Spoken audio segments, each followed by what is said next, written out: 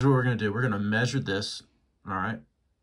Put our thumb where the hook's going to come out. We're going to run that right through our bait, making sure that the hook comes out at the top. That way it swims properly in the water. And as we come down, we're going to twist this at a perpendicular angle and push that jig head in there, okay?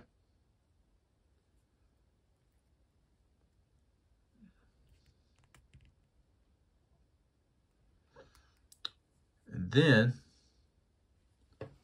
we're going to take it and we're going to twist it. And there you go.